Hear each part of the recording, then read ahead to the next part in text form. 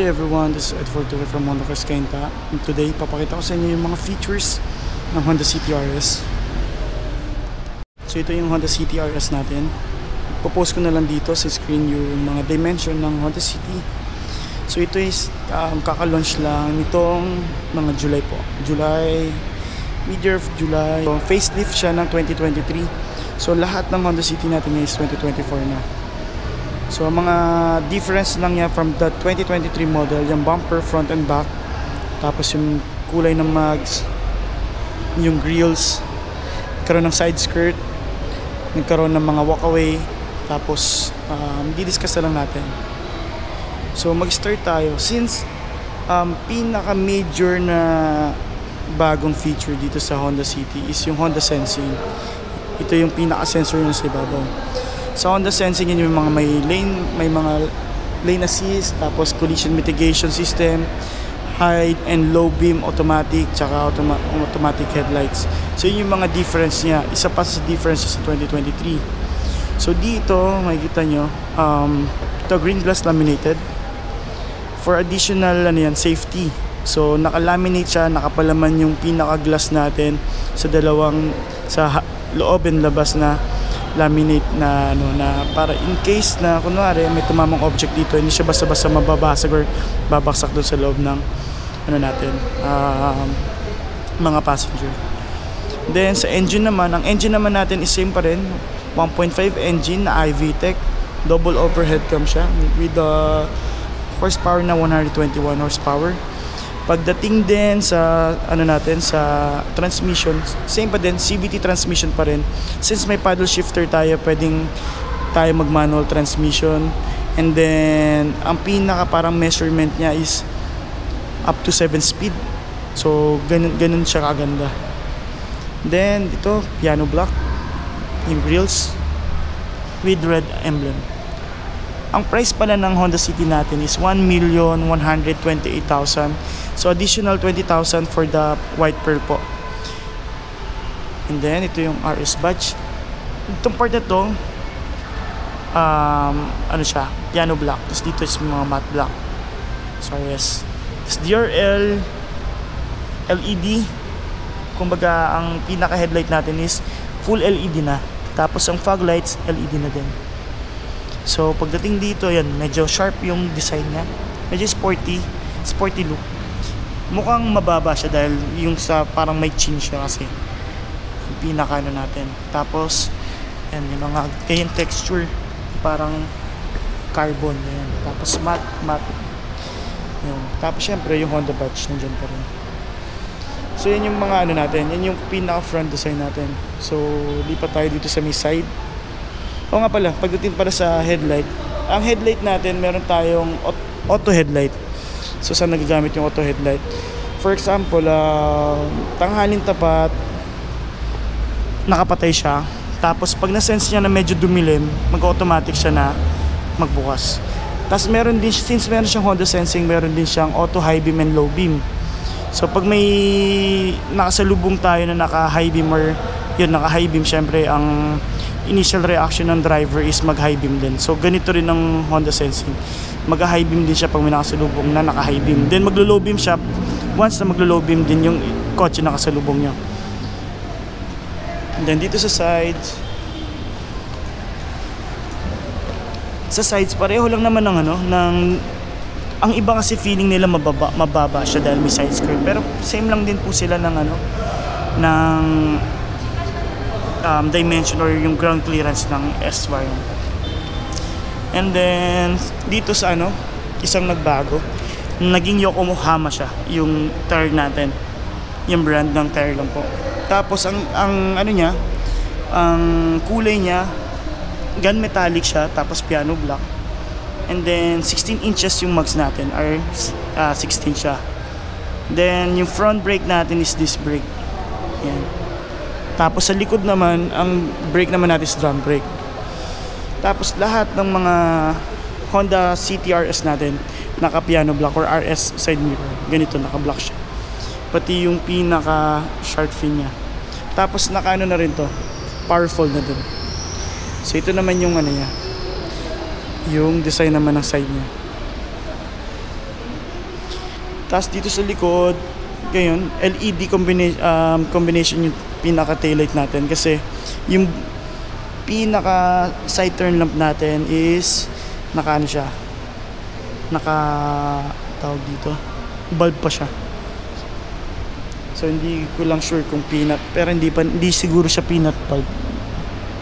Medyo malaki yung bulb eh. Tas LED na yan. LED yan. Then with spoiler na. Yan spoiler. Tapos isang nagbago sa akin ito. Part na yan yung diffuser yung reflectorize kasi nandito. So ngayon nandito na sila yun. Tapos very sporty siya. Kasi yung matte black siya then mukhang carbon mukhang carbon yung ano yung texture lang. Tapos syempre ito RS badge. Tapos yung CT yan. cargo space niya. Yan. sobrang laki. So uh, simula pa lang nung dating um, second generation ng ay third generation ng Honda City. Malaki na talaga yung naging compartment niya. Tapos yan yung tire natin na reserve tire space saver na reserve tire tapos jack nandito na rin. Ito yung mating niya carpet type. Yan kasama po yan sa libre pati yung tools. So kinagandahan dito sa city kahit malaki yung ano niya malaki yung compartment niya. Yan maganda pa rin yung design So hindi na compromise yung design niya. Sporty pa din. Yan. Tapos dito sa likod, yan may defogger din. Tapos may isofix sa loob. Tapos dito sa key natin, ang key niya is yan may remote engine start din yung ang CT. So ang gagawin nyo lang po is ilalak nyo tapos i-hold tong hold button tapos mag start na yung kotse. Tapos bubukas na po yung aircon niya pati makina. Tapos for safety, pagka ginawakan yung shift knob or pinindot niyo po yung shift knob, mamamatay po yun. So kailangan niyo pa rin pong regular na i-start siya. Then yung susi natin is naka smart key na rin. Ang smart key kasi yan yung lalagay mo na yung kamay niyo dito tapos mag-unlock na siya. Pindutin niyo lang to tapos mag maglalak na. So yan, nakalock na to. Yan. So, kung na, sa akin naman po yung susi ng Honda City, lalagay ko na yung kamay ko dito. Tapos mag-unlock na siya. So ngayon, check natin yung ano. Check natin loob. So itong sidings niya, may power fold din. Power fold, tapos power side mirror na yung adjustment. Central lock sa window natin, window lock. Tapos yung sa um, window switch natin, yung sa power window. Tapos dito yung part na to yan, leather siya with red stitch. Hanggang dito yan. So kinagandaan ng leather, hindi po katulad ng mga fabric na nagkakaroon ng dumi, na-absorb yung dumi, yung pawis, ito hindi. Mas madali siyang linisan, mas madaling i-maintain. Plus, ayan, chrome handles. Tapos, meron siyang two tweeters. Yan po. Dito, sa upuan niya, leather po. Leather with red stitch. Yan po. Tapos, ito, na-adjust yung height ng upuan. So, pump type siya. Then dito sa ilalim, yan may ano siya. May RS na um, RS pedal. Ito vehicle stability assist. Ito matawag. So, pagdating dito sa aircon, yan may mga ano siya, may mga piano block. Yan. Tapos yun, bago sa 2020, pa sa ang 2024 ito ready to yan. Tapos leather dito, leather yan. Tapos leather tong pinaka ano natin. Um, steering wheel. Tapos dito, kinagandaan sa Honda. Although ano siya, um, plastic to, hindi, na, hindi halatang halatang plastic pag tinignan mo yan, yung texture niya. So hindi siya mukhang cheap tingnan. Yan. Tapos dito sa steering natin, nakakatuwa. So medyo ang ano natin sa city natin medyo high tech na siya. Kulang na lang yung mga 360 mga ganun. Pero hindi naman totally kailangan kasi ng mga 360 camera eh. Pero syempre dagdag din yon dagdag ano din points din yung sa kotse. Pero kung sanay naman kayo mag drive pinaka safe talaga side mirror itong rear mirror natin may backup camera naman. So yun. So dito is meron yan yung switch ng ano natin, switch ng headlight. Yan, may auto, off, pwede nyo i-off or auto. Tapos yung fog lights yan. Tapos dito naman sa gilid, meron bilog dito sa ilalim. Ito naman adjustment yan sa cluster. Kung yung sa gauge natin gusto yung mas maliwanag siya. Then, dito sa side na to, may paddle shifter. So, yung paddle shifter niya kulay itim. Unlike sa mga luma nating Honda City na silver siya, tapos nagfa-fade kasi. So, ito black. So, ang ganda tignan. Nag, ah, ano siya eh, parang uniform siya. Since pati yung ceiling niya na yan, oh, black siya. For the RS yan ah, lahat RS natin black yan lahat. Tapos with illumination yung, may, may ano dito, may mirror na rin, vanity mirror. Tapos yung sa ano natin, map light. Okay, tapos yung Honda Sensing mismo. Ito, yung part na to. And then, ito may glo- ano siya, may piano block. Yan yung glossy block. Tapos, red stitch. Very, ano, sporty feels yung loob kasi black yung ceiling. Yan. Tapos naka-airbag siya. Curtain airbags with side side airbags.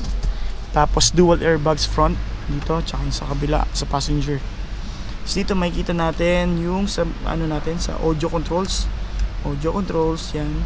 Tapos yung sa menu dyan sa may information natin sa gitna. So pakita ko na lang sa inyo yan, no? yung gauge. So gauge natin ganyan yung itsura. So may red, yan may red. Yan. Yan yung gauge natin. Sporty din yung pinaka gauge natin. Ganda na rin tingnan. And then dito naman sa kabilang to, it- ito yung sa um, adaptive cruise control natin which is kasama sa um, Honda Sensing feature natin. Then meron dito, i-research nyo na lang po yung about sa um, yung mga collision mitigation system, yun yung mga ano kasi mga lane assist, yun yung mga ano natin sa Honda Sensing, yun yung pipreno mag sa shop, tapos igigitna lang kayo sa lane, kumbaga i-assist kayo sa gitna, igitna sa lane, yan yung mga ano, de- departure kasama rin sa Honda Sensing. So ito naman is yung sa cruise control naman to. Adaptive cruise control. Ito yung sa set nyo po 40 km per hour. Hindi nyo na kailangan mag gas pedal tsaka magpreno. Mag-isa siya magpapreno. And then, um, disclaimer po, wag niyo pong gagawin na parang autopilot yung Honda City or yung Honda Sensing since additional safety po siya. So, hindi siya advisable na gawin parang um, yun, yung autopilot po since meron siyang lane assist, diba? So, nagdepende po, nagkakaroon po ng um, minsan hindi siya accurate like pag medyo mau- mausok, medyo hindi maganda yung linya or yung road condition and kung umuulan. So, depende pa rin po. Or pag sobrang dilim ngayon. So, okay na to. Then, ito, yung sa ano natin, sa sa steering wheel natin, telescopic and tilt siya. So, para, kasi ang ang upuan natin napapump. Tapos ito, telescopic and tilt siya. Yan. So, para mas personalize yung ano natin, yung pagdadrive natin. Or yung seating position natin. Tapos dito naman yun, um, touchscreen na rin siya, wala siyang um, GPS. Kasi meron po siyang tinatawag na Apple CarPlay and Android Auto. Yun po yung pwede natin i-connect yung phone natin, wireless na po siya. And then gagamitin po natin yung mismong application natin sa phone, yung mga Waze, Google Map, yan, pwede yan dito. Tapos dito is, yan, may mga knob siya, yung mga settings. Tapos ito, nag-iiba-iba yung kulay. Pagka paka, pa kaliwa pag palamig yan nagbo-blue pag pa right po is painit naman. Max cool. Ginagamit yung max cool pag medyo mainit yung kotse and kailangan nyo na pong umandar. Ma-max cool po para ano po siya naka-max lahat mas mabilis lumamig. Um, to yung ano climate ano auto climate yan yung si Honda City na po yung magbibigay sa inyo ng or mag adjust sa fan tsaka sa thermostat. Siya na mag-isa mag adjust ng aircon para yung pinaka ano niya recommended na temperature siya na po bahala. Front fan defogger. Ito po yung mga position natin ng sa vents. Yung uh, air circulator ito yung may pag pinatay nyo po siya magbubukas yung pinaka cabin ano natin doon yung parang higupan ng hangin so maamoy nyo yung nasa labas So ang downside lang doon, yung alikabok, mas mabilis mag magdumi yung pinaka cabin filter natin ng aircon. So mas mabilis mas mas mabilis siya pong ano. Tsaka isa ko pong ano diyan. Yung lamig niya medyo hindi ganoon kalamig kasi yung init dito sa Pilipinas, nihigop niya yung init sa labas tapos lumalaban dito sa evaporator natin. So ako, uh, I recommend na lagi naka-on lang siya. Tapos AC button on off niya and yung knob and on off ng fan natin. Tapos dito, yan, lalagyan na ng cards, ng parking ticket, dito rin. Dito naman, cup holder. Yan. Tapos USB. USB ano natin. Pwedeng i-connect yung, kunwari, kasi ito walang CD eh. Pwedeng mag save ng file or ng kanta, mga MP3 file. Mababasa yan ng ano natin. Tapos yung power outlet natin ng 12 volts. Tapos dito naman yan, glove box. Okay naman. Wala namang special. glove box lang talaga siya. Ito yung texture ng upuan niya. Hindi po siya leatherette ha. Leather talaga. So sa mga ibang nag-ano dyan na leatherette, hindi po siya leatherette. Leather talaga yan. Tapos dito, yan yung mga ano natin modes. Mga park, reverse, neutral, drive, and sport. Icon button yun. Check natin dito yung sa reverse natin. Reverse, camera, ito po. So may tatlong mode siya. Yan, top view yan. Ito yung pinaka ano natin um, bumper. So ito, yung pinaka safe, yung dot line. Yan yung focus lang po. And dito yung wide. Yan, mas malapad yung makikita niyo. So yung tao dito, di yung nakikita. Pag dito sa wide, kita niyo po ang ganun sa gilid. D and S, drive mode kung gusto niyo pong mas matipid lang. S mode kung gusto niyo pong mas sporty feels and medyo aggressive yung engine. So, kung sa tipid, sa drive mode tayo. Plus, ang maganda yan, anytime pwede nyo pong gamitin tong paddle shifter. So, yung paddle shifter yung pwede mag-manual. Yan po. Then, center, ano natin, armrest natin yan. Sa mga lalagyanan ng cards dito. So, lipat tayo sa likod.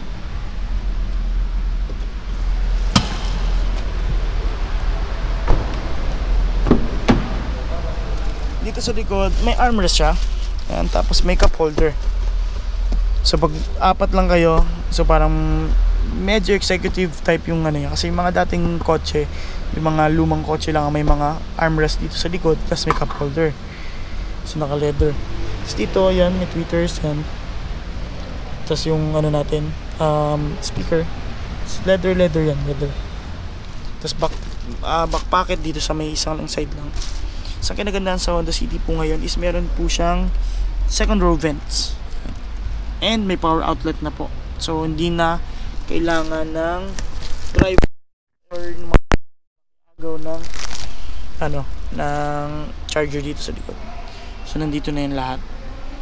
So dati kasi nandun pa, di ba? Tapos makikicharge. Medyo um, nadidistract yung driver dahil yung mga passenger makikicharge na yun. So, ang isang pinaka-favorite ko dito sa Honda City is, ano siya?